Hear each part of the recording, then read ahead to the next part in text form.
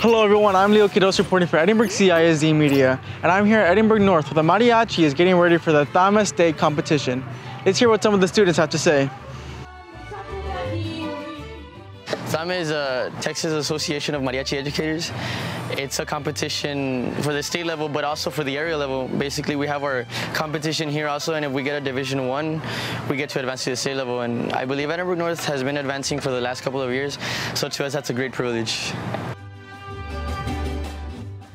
Well, ever since freshman year, whenever we perform at TAME, we get to improve every single time. So growing with the people in mariachi, along with the music, is it's reward in itself. It doesn't really matter about what place we get. It's always just making the best performance we can with the people that I love the most, and that's what I like most about going to state. Well, I mean, this is actually the first year that that they opened up the JV competition for TAME, and the first year they they competed also and they got their Division One rating. So, I mean, that's great for the JV and the varsity to be going at the same you know at the same time to represent Edinburg North. I mean, it, it's a big privilege to be able to go over there, uh, drive around four hours, all of our neighboring schools, and to be able to represent Edinburg as a whole mariachi family. So I guess that's that's a great privilege.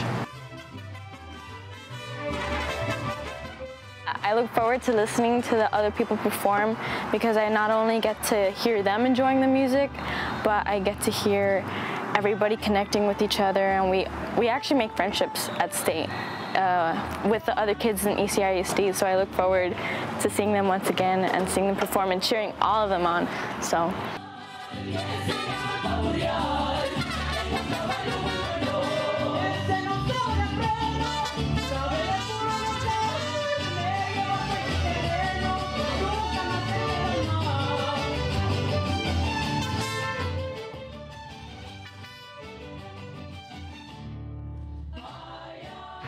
Good luck to the Edinburg North Mariachi.